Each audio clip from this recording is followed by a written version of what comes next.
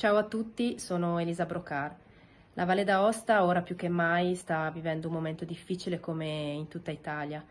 È giusto rimanere uniti e seguire le semplici regole che ci vengono spiegate da ormai diverse settimane.